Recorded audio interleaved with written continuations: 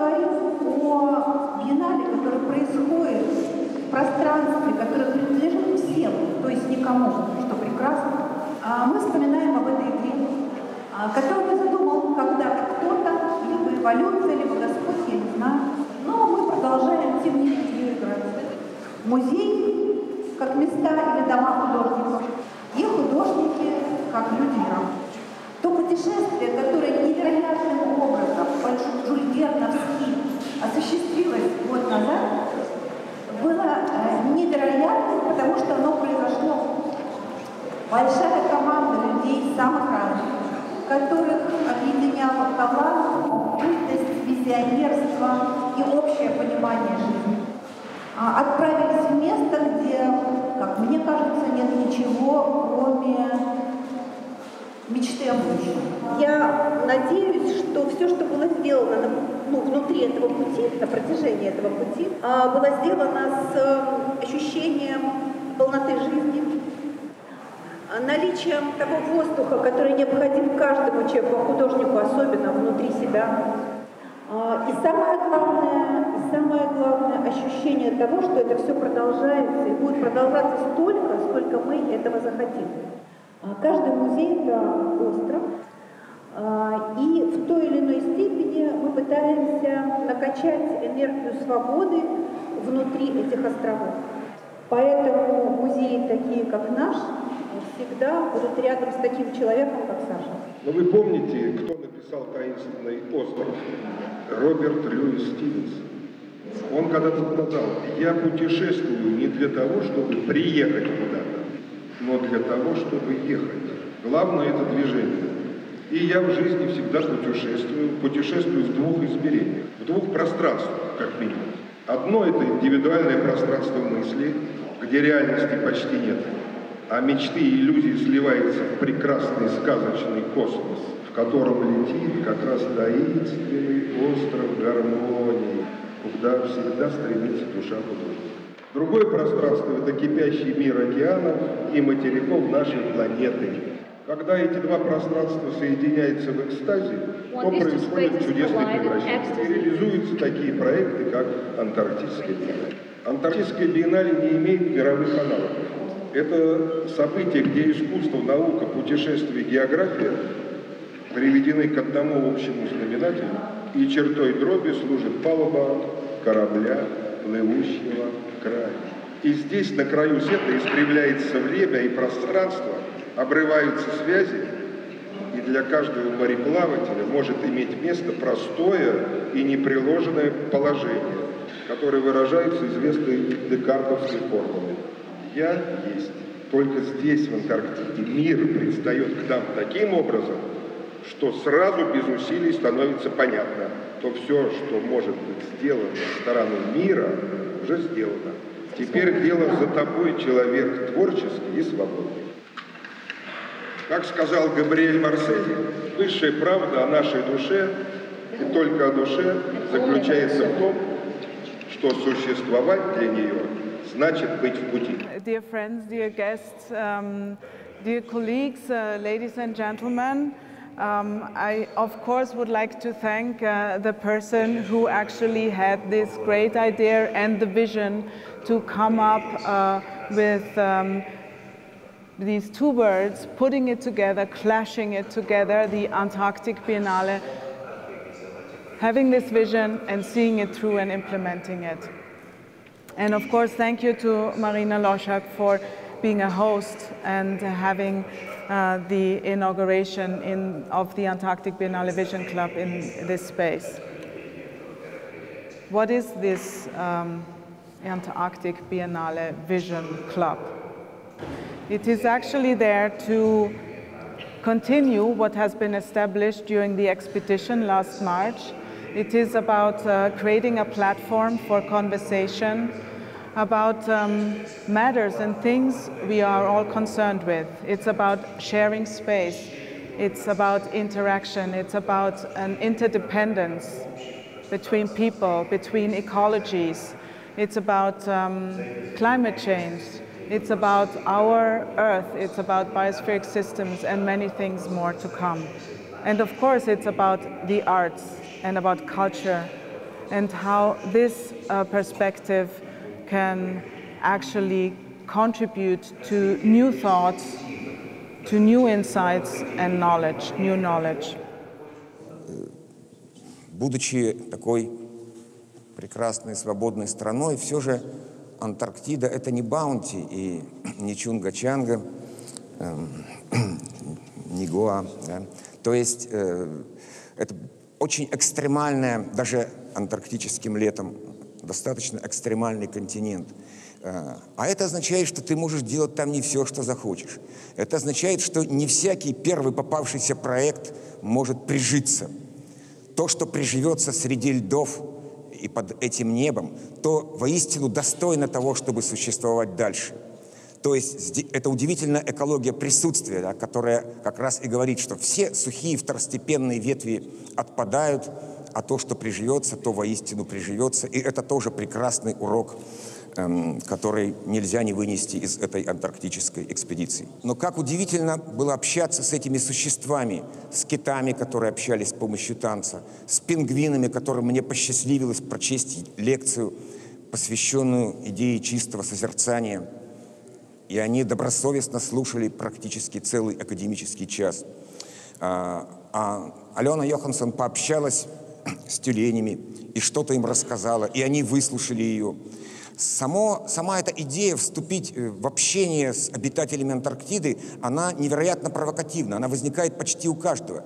И в какой-то момент понимаешь невероятно важную вещь, опять-таки. Мы, люди, привыкли относиться э, окружающим нас животным в силу того, что они приносят нам какую-то пользу. То ли молоко дают, как коровы, то ли сторожат, как собаки, то ли еще что-нибудь. А здесь свободные, бесстрашные животные, которые не приносят никакой пользы. Но именно поэтому с ними так интересно общаться. Единственный в мире подобный опыт, скорее всего, был э, у индейцев Мезоамерики, у ацтеков, альмеков и тольтеков, которые с точки зрения европейцев приручили невероятное количество животных, причем непонятно для чего. Они руководствовались простым принципом – приручай все, что приручается, и не ищи себе никакой пользы. Беседуй с ними, вступай с ними в коммуникацию. Быть может, мы вместе составим какое-то более интересное сообщество, комьюнити человечества. Это в Антарктиде совершенно очевидно. То есть э, там действительно можно, отбросив э, все соображения престижа, пользы, самолюбия, воспаленного авторствования, просто э, приручать то, что приручается, и э, вот э, вступать в это такое открытое, в чем-то бесхитростное существование, но одновременно, конечно же, мы понимаем, что это пока еще свободная, чистая от ошибок земля предстает перед нами как земля будущего. My work was titled Vestibule. And this is after the vestibular system, which is the system inside of your ear that tells you when you're moving. So if you're falling, tilting, turning, your vestibular system of delicate bones, liquid, and tissue in your ear is sensitive to those uh, experiences. This system has limitations, though. And these are experienced often by airplane pilots, by sailors, by astronauts, and anyone who works in an environment that is constantly in motion.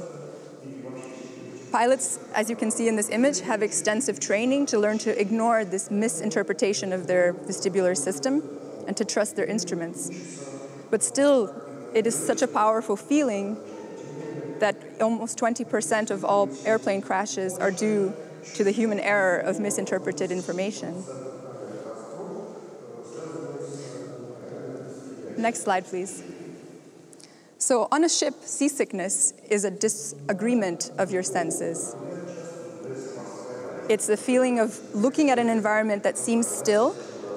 You see a still horizon, you see the still interior of the ship. The water doesn't seem to be moving, but the whole ship is rocking forward and side to side. This disagreement between what you feel and what you see is what causes seasickness. And what I'm interested is in the fact that both of your senses disagree, but none of them are wrong. You just need to adjust your thinking to understand that you can't see the change that is real. My artwork took place entirely aboard the ship. uh, as we sailed from the Antar- uh, to Ushuaia and the Antarctic Peninsula and back. The artwork became most active as we crossed the very rough waters of the Drake Passage. Sometimes there's 40 foot waves in this area where the Atlantic and the Pacific and the Antarctic waters meet. With the help of the crew of the academic Vavilov, I mounted four motion stabilized chairs onto beams in a room at the bottom of the ship. These are the chairs you see here. They hung free of the movement of the ship, like pendulums. Next slide, please. In front of the chairs, and next slide, uh, was a live projection of what was directed directly in front of the ship. Next slide, please. Next slide. I installed a CCTV camera at the front of the ship that you could watch a live feed of the horizon from these chairs. Basically, the chairs move with the horizon. So when you walk into the room, what you would see is the chairs moving, and you would see the, in the video image the horizon moving.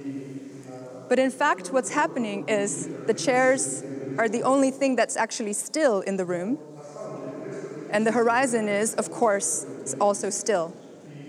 So I wanted to shift the perception of where the movement is happening and return it to realize that actually your entire visual environment in the boat is moving.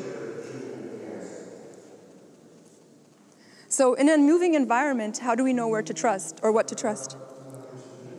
If what works perfectly well in making decisions in a fixed and predictable setting fails in a moving and dynamic world, what systems do we have to fall back on to reestablish what is reality? Э, В тот момент, когда мы сейчас здесь с вами разговариваем, два наших судна, и академик Йофи, и академик Вавилов, работают в Антарктиде, и на борту находятся наши ученые, которые в непрерывном режиме изучают течение в проливе Дрейка. Э, Без ложной скромности можно сказать, что таких наблюдательных программ в мире практически нет. То есть два судна на протяжении всего сезона измеряют течение в проливе Дрейка. Для чего мы это делаем? Мы делаем это для того, чтобы понять климат нашей планеты. Поскольку Антарктика — это огромная территория, огромная территория с э, огромными массами воды, которые переносят тепло между океанами, между Тихим океаном, между Атлантическим океаном. И по большому счету, можно сказать, там формируется та погода, которую мы имеем здесь. Не изучив эти процессы, не понимая, что там происходит, мы фактически не можем сказать, что происходит с той средой обитания, в которой и мы с вами находимся. Существующие проблемы. Какие проблемы? Безусловно, я бы хотел остановиться на том, что существует и непонимание, в мире существует непонимание того, что надо измерять. То есть мы должны измерять ту среду обитания, которой мы с вами находимся. Особенно такие труднодоступные антарктические районы. Вот здесь показано, да, те приборами, которыми мы работаем. То есть мы измеряем температуру, соленость, течение, биологические элементы. То есть не изучив среду, мы не поймем, что с нами происходит.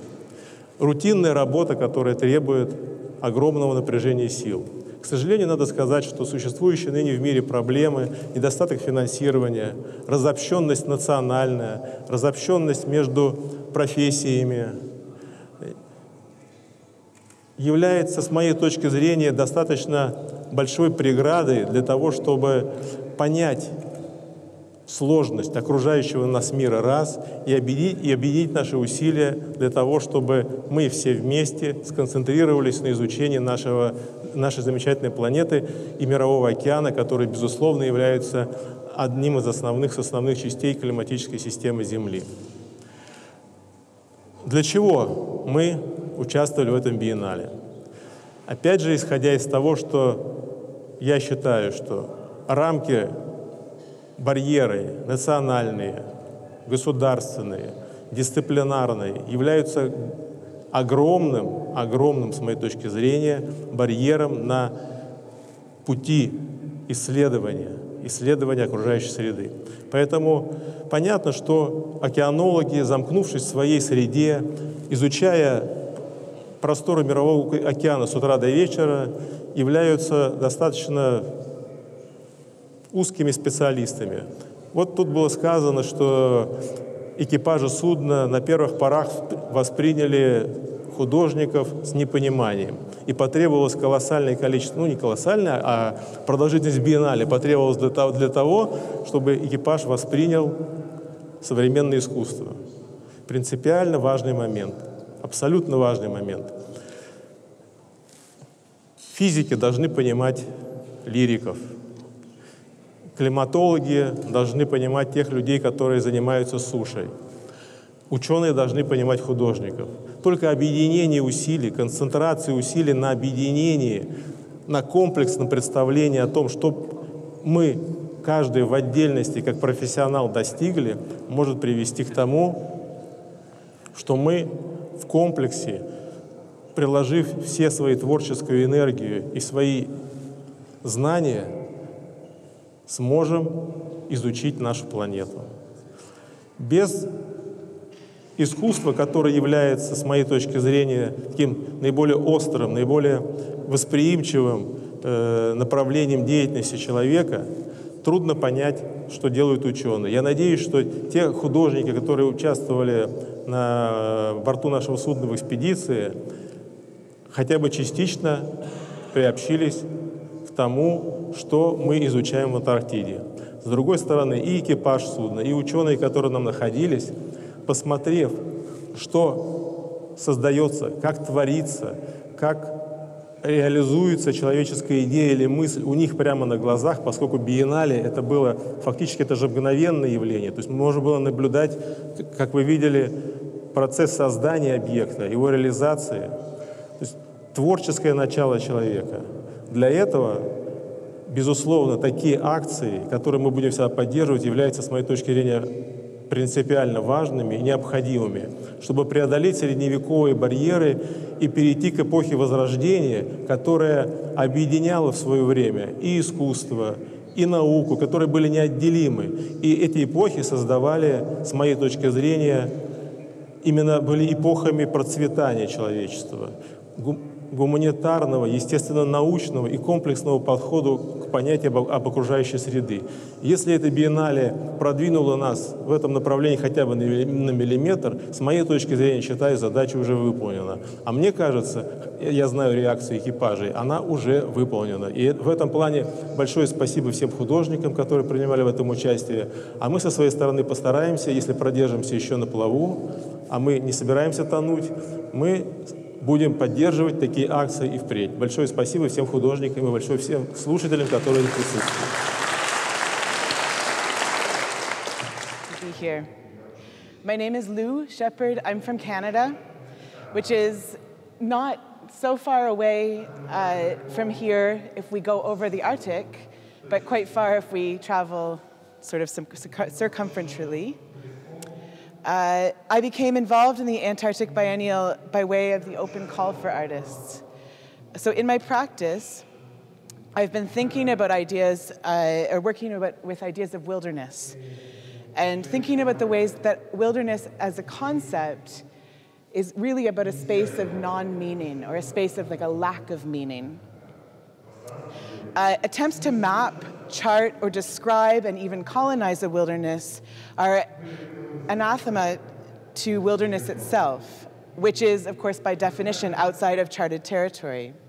So, in dealing with ideas about how art might approach wilderness, I arrived at this idea of gesture, essentially, that we might apprehend wilderness by pointing rather than by walking up and actually depicting it.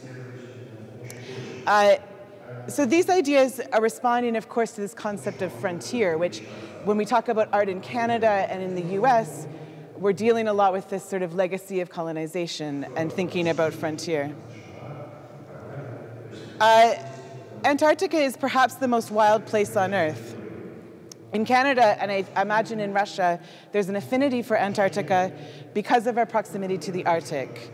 Uh, however, while the Canadian Arctic has an indigenous population and has industry, uh, Antarctica has no indigenous population and no industry outside of scientific research and lucky tourists that get to go.